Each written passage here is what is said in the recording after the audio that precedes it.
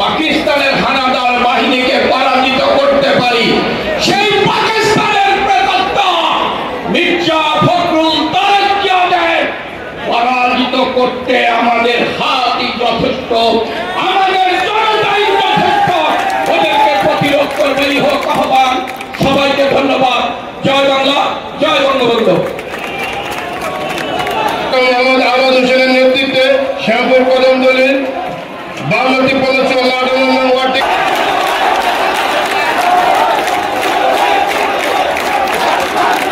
জামাত জঙ্গিদের তাদের দেশ বিরোধী ষড়যন্ত্রের প্রতিবাদে শান্তি উন্নয়ন সমাবেশ আজকে এই শান্তি উন্নয়ন সমাবেশে সংগ্রামী সভাপতি, ঢাকা মহানগর গোবিন্দপুরের বন্ধুপ্রিয়তা ঢাকা মহানগর মানুষের অত্যন্ত প্রিয়তা বিপ্লবী জয়রাতা জেলা বাবু আহমেদ আজকে একটু পরে আমাদের মাঝে উপস্থিত হবেন। আজকের অনুষ্ঠানের প্রধান অতিথি, বাংলাদেশ আওয়ামী লীগের তিন তিনবারের নির্বাচিত সাধারণ সম্পাদক, গণপ্রজাতন্ত্রী বাংলাদেশ সরকারের মাননীয় সড়ক যোগাযোগ ও সেতুমন্ত্রী বাংলাদেশ ছাত্রলীগের সাবেক সভাপতি, সারা বাংলার মানুষের অত্যন্ত প্রিয় নেতা, বিপ্লবী জননেতা যারা ওয়াইদুল কাদের এমপি। মঞ্চ বিশ্ব রয়েছেন আজকের এই অনুষ্ঠানের বিশেষ অতিথি, বাংলাদেশ আওয়ামী লীগের প্রেসিডেন্টের অন্যতম সদস্য, ঢাকা দুই আসন থেকে পরপর তিনবার নির্বাচিত জাতীয় সংসদ সদস্য, গণপ্রজাতন্ত্রী বাংলাদেশ সরকারের সাবেক মন্ত্রী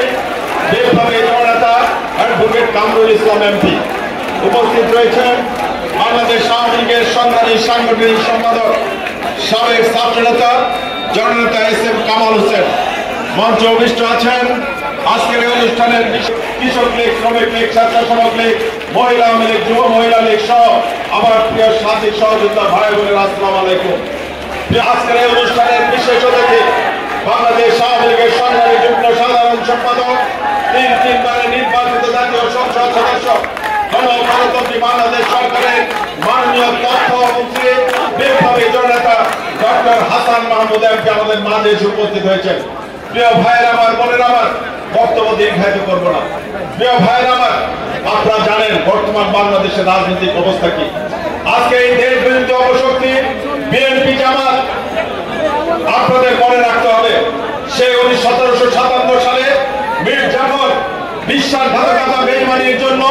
এই বাংলার স্বাধীন সূর্য অস্তমিত হয়েছিল।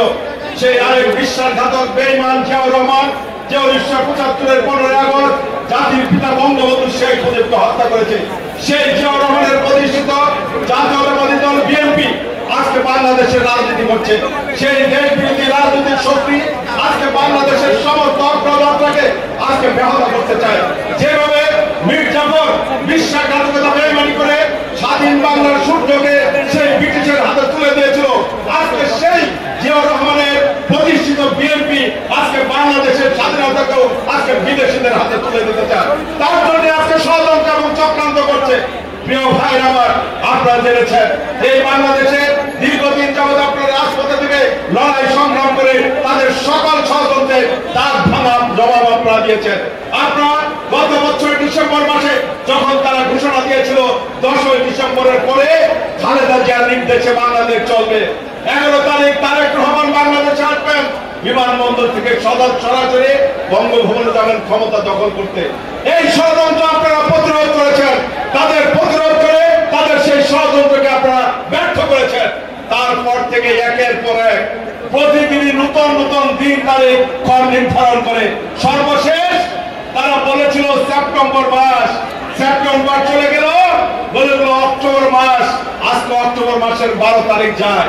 নতুন তাদের তারিখ নির্ধারণ করেছে অক্টোবর মাসের শেষ থেকে তারা নির্বাচনের আগের দিন পর্যন্ত চেষ্টা করবে শেখ হাসিনাকে তারা ক্ষমতাচ্যুত করার জন্য।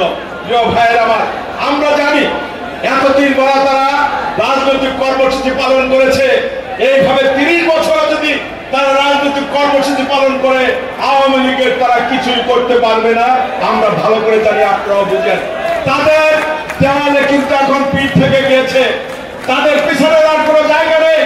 আমরা বিশ্বাস করি মরণ কেমন কিন্তু সামনে তারা দিবে। এবং সেই মরণ কেমন কীভাবে আমরা প্রতিহত করব তা জন্য আমাদেরও প্রস্তুত থাকতে হবে। আগামী পঁচিশ তারিখের পর থেকে তারা বিভিন্ন ধরনের ধ্বংসাত্মক কর্মসূচি তারা দেবে। এই পূজার পরে থেকে তারা মাঠে নামবে। অতএব আমাদেরও প্রস্তুতি গ্রহণ করতে হবে। তাদের সকল ষড়যন্ত্র চক্রান্ত আমরা দাঁত ভাঙা জবাবি না তাদের পরাজিত করব এবং আজকে শেখ হাসিনা দীর্ঘ পনেরো বছর টানা বাংলাদেশের রাষ্ট্রীয় ক্ষমতায় আছেন। শেখ হাসিনা তেতাল্লিশ বছর যাবৎ আওয়ামী লীগের সভাপতি দায়িত্ব পালন করছেন এবং তেতাল্লিশ বছর রাষ্ট্রীয় আওয়ামী লীগের সভাপতির দায়িত্ব থেকে চারবার এই দলকে তিনি রাষ্ট্রীয় ক্ষমতায় নিয়ে গেছেন। গত পনেরো বছরে পনেরো বছর আগে ছিলাম আমরা বিশ্বের সবচেয়ে দরিদ্রতম দেশ। এই বাংলাদেশ ছিল ভিক্ষুকের জাতি। সেই বাংলাদেশকে আজকে উন্নয়নশীল দেশের কাতারে শেখ হাসিনা নিয়েছেন। পাঁচশো চল্লিশ ডলার ছিল আমাদের মাথা বিচার।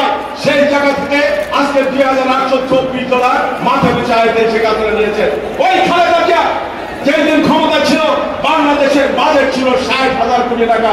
আজকে সেই জায়গা থেকে শেখ হাসিনা বাংলাদেশের বাজেট পেয়ে গেছেন সাত লক্ষ কোটি টাকার বাজেট যার কারণে আজকে বাংলাদেশের রাস্তায় গ্রাম অঞ্চলে হাঁটি। আগে যখন রাস্তায় হাঁটতাম, দুই পাশে দেখতো খালি গায়ে পর- খালি হাঁটতেছে রাস্তায়। পায়ে স্যান্ডেল নাই। এখন রাস্তার পাশ গাড়ি চালিয়ে যায়। একটা খালি গায়ে কোনো মানুষ আমরা দেখি না। একটা মানুষকে আমরা খালি পায়ে স্যান্ডেল ছাড়া দেখি না। আজকে এই বাংলাদেশের সেই কাঁচা রাস্তাগুলো লক্ষ লক্ষ কিলোমিটার নতুন পাকা রাস্তায় রূপান্তর করেছেন। প্রত্যেক ঘরে ঘরে বিদ্যুৎ দিয়েছেন শেখ হাসিনা।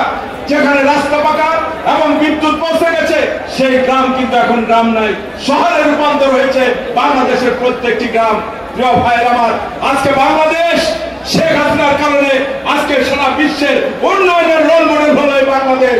সেই বাংলাদেশের এইসব উন্নয়ন দেখে ওই পদ্মা সেতু যে পদ্মা সেতুর কথা খালেদা জিয়া বলেছিল, আওয়ামী লীগ সরকার পদ্মা সেতু করতে পারবে না।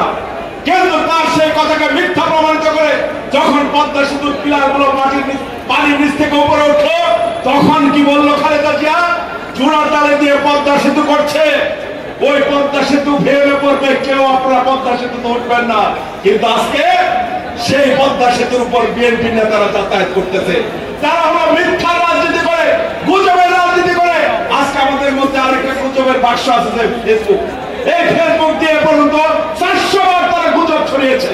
সেই গুজবে আপনারা কান দেবেন না, কোন গুজব শুনলে হতাশ হবেন না। তারা এরকম উনিশশো একানব্বই সালে নির্বাচনের আগে ছড়িয়েছিল। আওয়ামী লীগকে ভোট দেওয়া যাবে না। আওয়ামী লীগকে ভোট দিলে বাংলাদেশ ভারত নিয়ে যাবে না। মসজিদে আজানের পরিবর্তে অনুধ্বনি দেবে, মসজিদ ভেঙে মন্দির বানাবে। বাংলাদেশের ধর্মপ্রাণ মানুষ সেই কথা বিশ্বাস করে তাদের রাষ্ট্রীয় ক্ষমতায় নিয়েছিল। কিন্তু এই বাংলাদেশের ইসলামের জন্য একটা কাজ তারা করে নাই। আজকে সেই শেখ হাসিনা, যাদের বলা হয়েছিল বাংলাদেশ ভারত বানাবে, মসজিদ ভেঙে মন্দির করবে, আজকে সেই শেখ হাসিনা বিশ্বের বহু ইসলামী রাষ্ট্র রয়েছে। একটা ইসলামী রাষ্ট্র একসাথে পাঁচশো ষাটটি মন্দির মসজিদ করে দশ হাজার টাকা কোটি টাকা খরচ করে কোন মসজিদ বানায় নাই। শেখ হাসিনা আজকে সেটা প্রমাণ করে দিয়েছেন।